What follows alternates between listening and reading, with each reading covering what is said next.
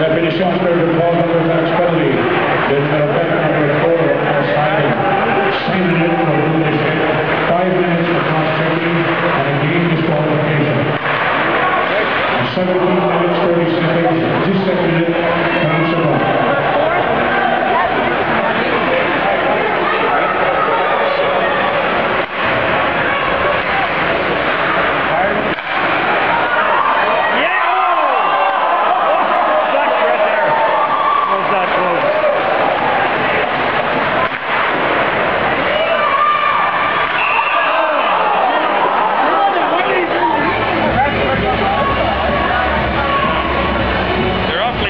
their whistle.